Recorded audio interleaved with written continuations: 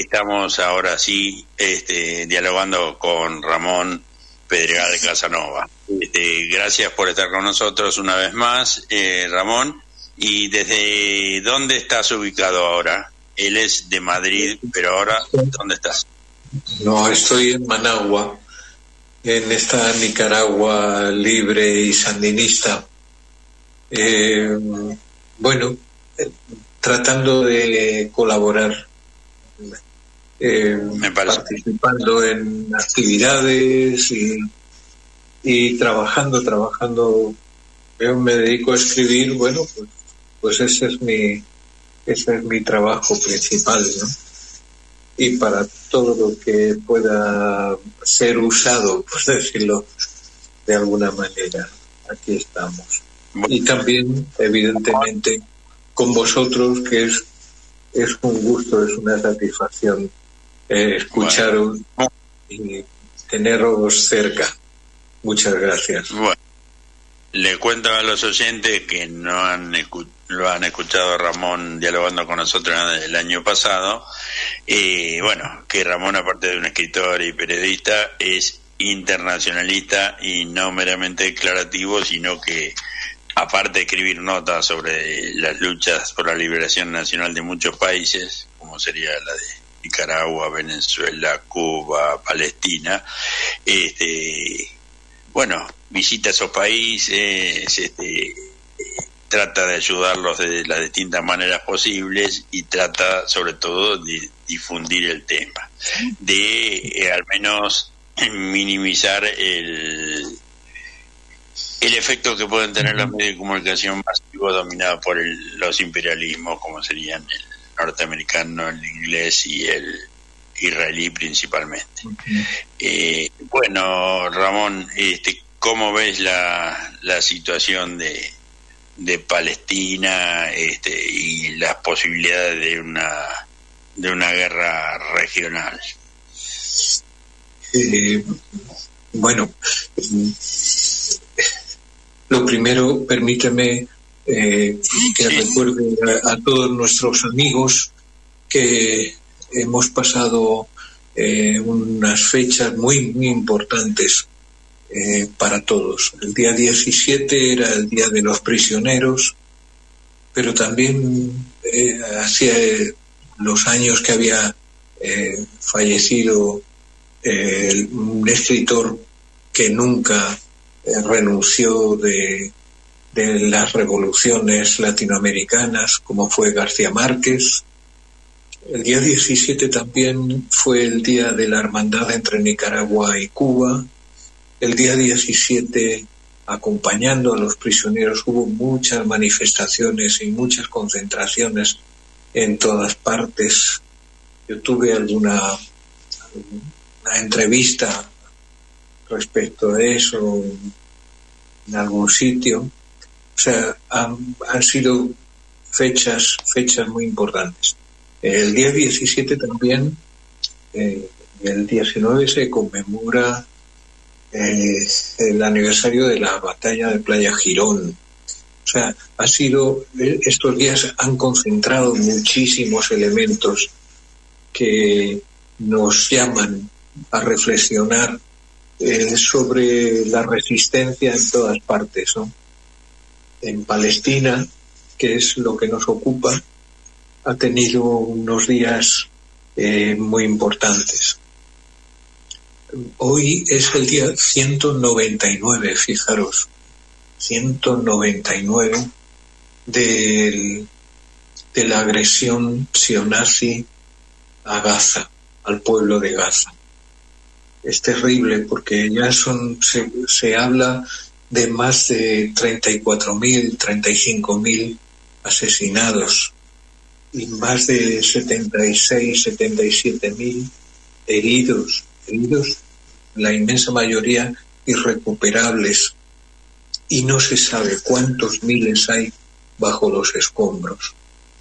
Pero un ejemplo de, de la criminalidad de los neonazis estaría eh, en, el hospital de Sifa, que fue asaltado, estando los refugiados heridos, eh, en camillas, esperando operaciones, sin agua, ni luz, ni comida, lo asaltaron y entraron ametrallando y asesinando a la gente directamente en el suelo, en las camillas, en las mesas de operaciones, a los niños, en fin.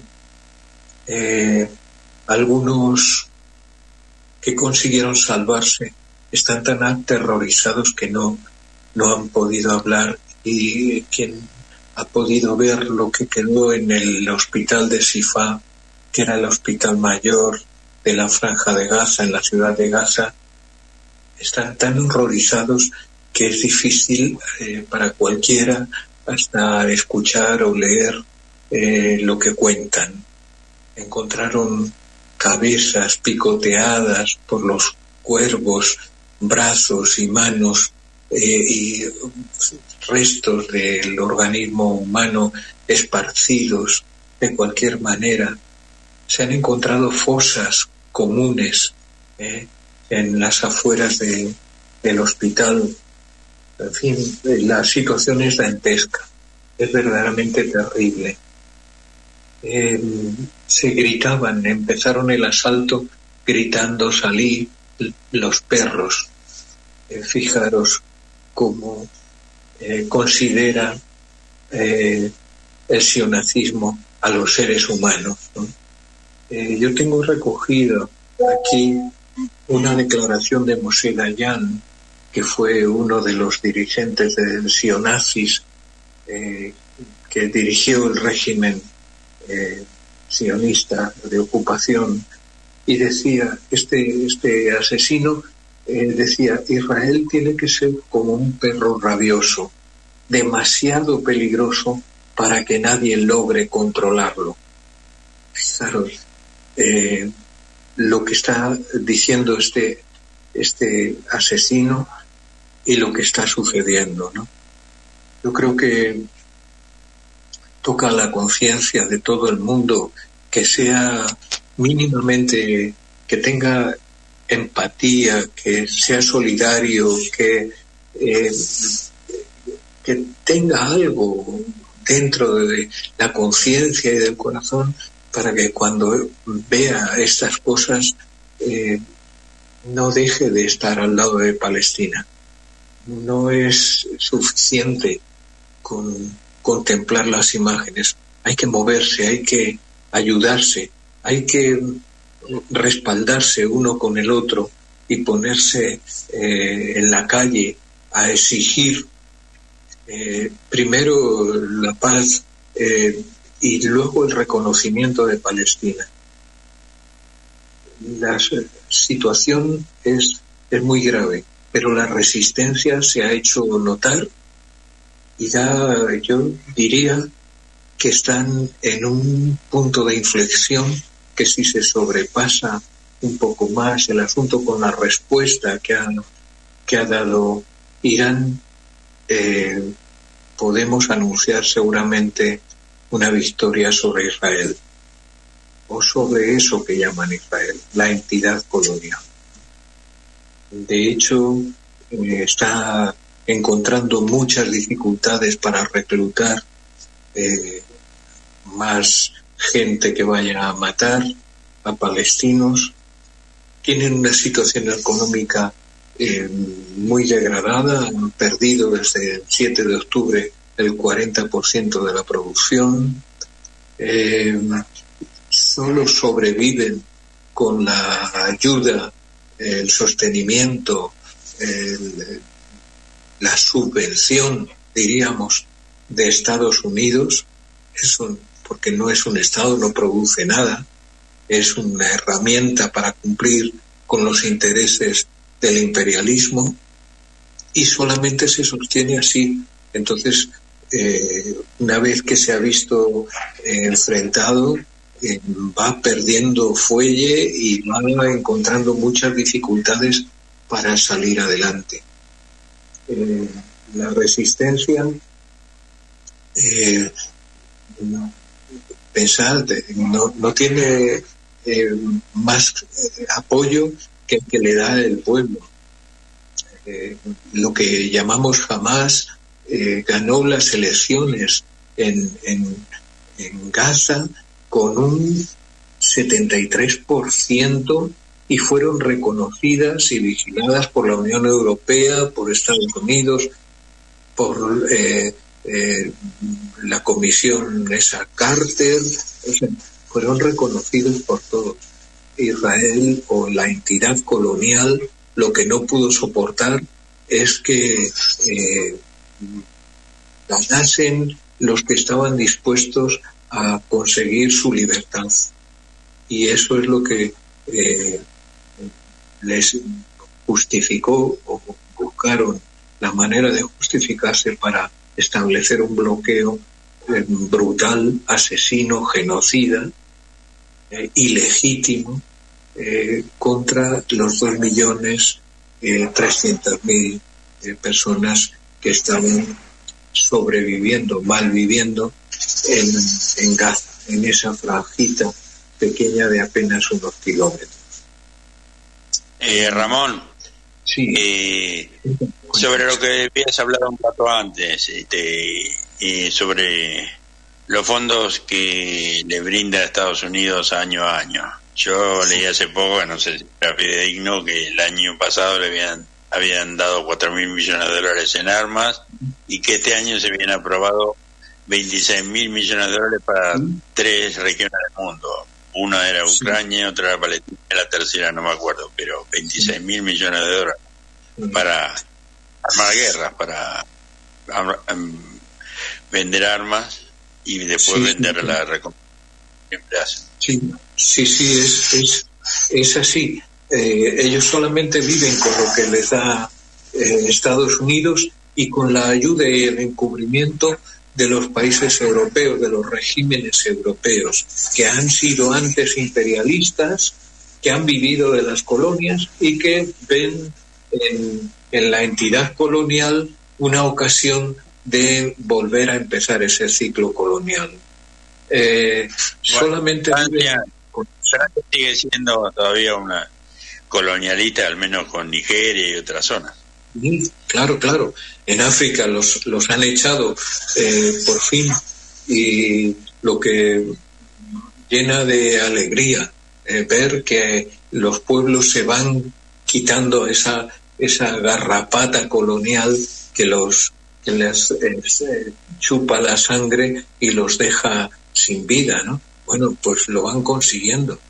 Hay una cosa que, que es muy importante, es que eh, Nicaragua ha denunciado ante la Corte Internacional de Justicia a Alemania, eh, siguiendo los pasos de Sudáfrica y apoyado por Cuba y Venezuela, porque Alemania es el segundo país que más armas envía a la entidad colonial con Estados Unidos, pero es que además eh, se ha negado a entregar el dinero que tiene obligación de entregar a la UNRWA, eh, que es la Agencia para los Refugiados Palestinos eh, de las Naciones Unidas. Y mm, bueno, luego ha querido discutir de que entregaría solamente la parte que corresponde a, Gaza, pero a, perdón, a Cisjordania, pero no a Gaza, ¿no? En, cualquier caso, es la primera vez que se sienta a un Estado eh, que apoya ciegamente al sionazismo, eh, con la historia que tiene eh, Alemania, es la primera vez que se sienta a un Estado ante la Corte Internacional de Justicia, después de haber vencido Nicaragua a Estados Unidos eh, en los años 80. Yo creo que se está en una situación que podríamos decir en alguna medida favorable.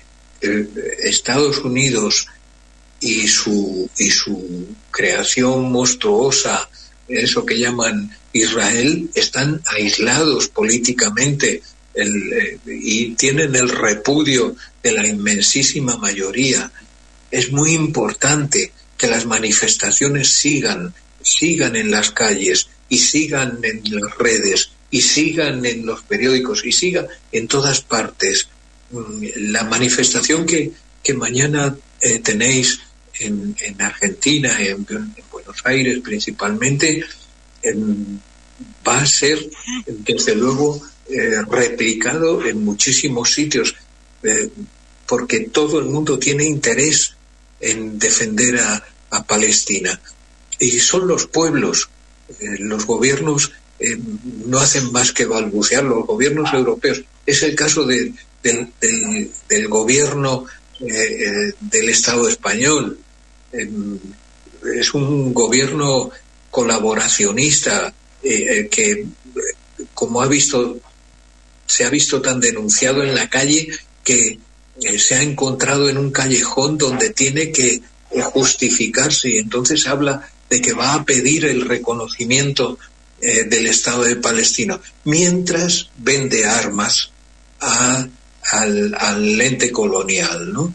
Eh, en cualquier caso, hay, hay, un asunto, hay un asunto que tener en cuenta. Eh, Pedro Sánchez, cuando eh, hace 10 años, cuando la flotilla de la libertad fue asaltada en aguas internacionales y asesinaron a 10 compañeros, Pedro Sánchez, en, ante una rueda de prensa que se hizo, estaba yo presente y a su lado salió diciendo que eh, aprobaba lo que el gobierno entonces, el gobierno del Estado español había hecho, dejando a los españoles en las prisiones eh, sionazis, eh, porque si no, que no se hubiesen metido en eso.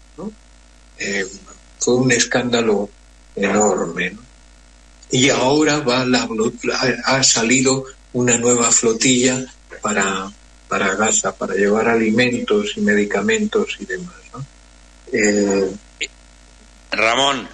Con eso, hay una historia que otro día a lo mejor podemos, podemos contar. ¿no? Sí, perdóname. Ramón.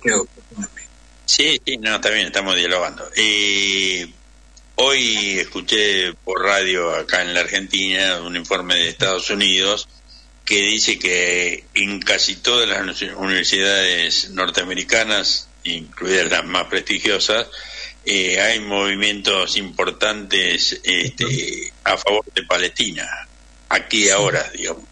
Este, eso no sé si tendrás información que amplíe, pero es un momento interesante, porque justo en el principal país sostenedor de, de Israel y de la guerra, este, que su frente interno se le complique, es importante. Sí, sí, hay, hay un asunto. Eh, los movimientos en solidaridad con Palestina han ido creciendo con, con el paso de los días. Eh, y en Estados Unidos, que parecía que no acababan de arrancar, eh, lo que es cierto es que ahora se hacen notar en las calles de manera persistente. Y eso es, eso es muy importante porque la situación que tiene eh, Palestina es muy difícil y sin embargo las movilizaciones en, en, el territorio del imperio eh, hacen que porque están delante las elecciones, las supuestas elecciones que, que organizan allí, ¿no? Para elegir entre dos ricos, entre dos multimillonarios. Bueno, pues el peso de los palestinos eh, es evidente y eh, ha convertido eh, la situación electoral en algo en lo que tienen que tener cierto cuidado para que no les salte a, la cara a, uno y a otro candidato, a pesar de que los dos son eh, nazis el mismo Biden declaró en su día que si no existiese Israel eh, lo, tendrían que crear. Y, Trump eh, fue el que armó eh, los acuerdos de Abraham y trasladó la embajada de Estados Unidos a Jerusalén y además intentó corromper a los vecinos de, de Palestina para que se le sumasen. ¿no? O sea, ninguno de ellos va a hacer absolutamente nada por Palestina. Por eso las movilizaciones en la calle son fundamentales porque les ponen freno y les hacen eh, contener ese espíritu expansionista y racista que les habita. ¿no? Hasta donde sé, por ejemplo, ayer hubo en Yale, en la Universidad de Yale, 47 detenidos. Eh, pero ha habido detenidos en París, ha habido detenidos en Londres, ha habido detenidos en Berlín. Eh, o sea, las manifestaciones se han, se han venido sucediendo y eh, la respuesta de todos estos colaboracionistas del imperio ha sido machacar a la gente, y detener a cuantos eh, han podido. ¿no? En, Estados Unidos las, manifestaciones son muy, muy importantes y siempre es de agradecer. Bueno, eh, Ramón, eh, te agradecemos nuevamente la presencia y te vamos a volver a, convocar porque a nosotros y a los oyentes también nos gusta las informaciones y las opiniones que, que siempre volcas en el, en el programa. Bueno, te agradecemos muchísimo y que tu estancia en Nicaragua sea coronada por el mejor de los éxitos posibles. Muchísimas gracias a vosotros y muchas gracias a nuestros queridos oyentes y en cualquier caso un abrazo muy fuerte para todos, empezando por eh, Palestina. El pueblo palestino se merece toda nuestra ayuda, porque también es ayudarnos a nosotros mismos. Un abrazo. Sí. Abrazo, abrazo. para vos.